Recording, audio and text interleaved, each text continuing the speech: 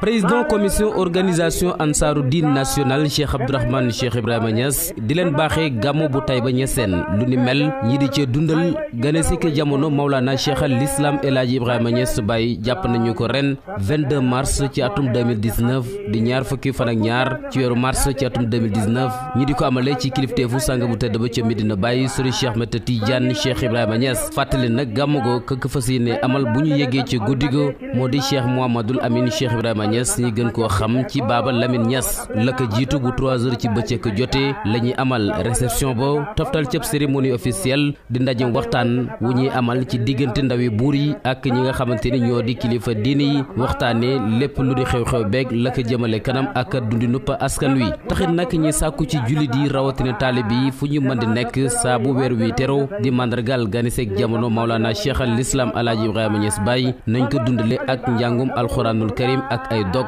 ñaanal ko moom Maulana Cheikh al Islam Alaaji Ibrahima Niass Baye ñaanal njaboot gi ak mboolem umma islamique bi ngir ñi nekk ci dal ak jàmm